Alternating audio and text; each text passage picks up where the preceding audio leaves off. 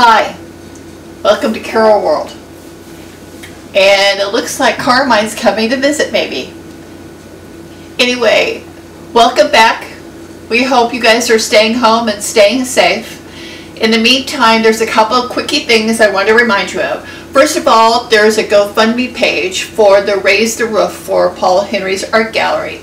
And uh, I put a special link on my website, welcome to carolworld.com. So you can go right to it and take you right to the GoFundMe. And just remember, no dollar donation is too small. We all love Paul Henry's Art Gallery and we're all hoping to really support this effort. And another thing is, is the upcoming B show, Because We Care. We designed a coloring book uh, that were graciously donated by 12 Slack artists. And I designed a 5x7 little pocket flip book coloring book and they just launched and they're now available and they're also on uh, for sale on the website, include shipping, I'll ship it right to you.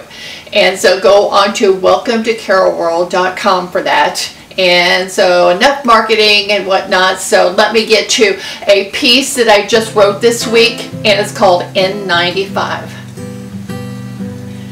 The tiny fingers stretched upwards, gently tracing the deep grooves, the discoloration and deep bruising, a rampant reply to the day's doings.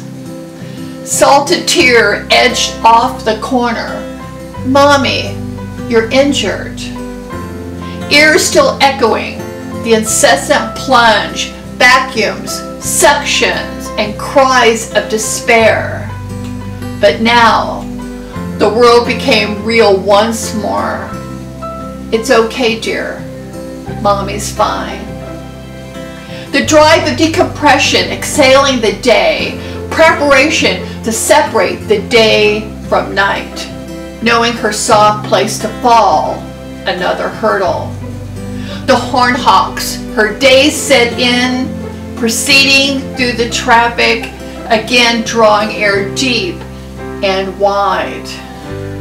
Mile after mile, distracted by interlopers, corner mobs and placards, impatient, running amok, wanting to balance it out, wanting to stop and plead, wanting to explain safety over privilege.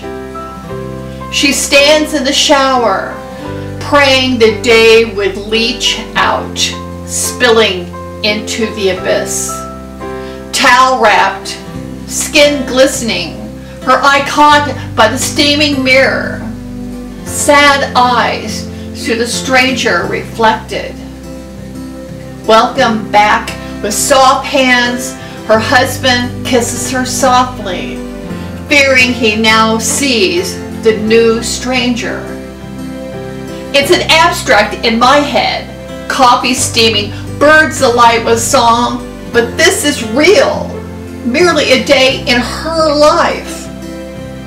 Morning breaks, with scrubs redress, she's out before her child awakes. As her shift changes, my abstract courses with cortisol. I'm unable to fathom another tear. Mommy's going to be fine. I'm not sure, but without her, life would surely be more grave.